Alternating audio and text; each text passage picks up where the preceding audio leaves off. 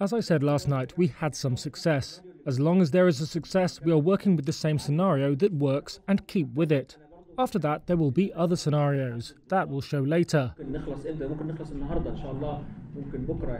I honestly cannot say when exactly we will finish. Maybe today, God willing. Maybe tomorrow. It depends on the situation, it depends on how the ship responds.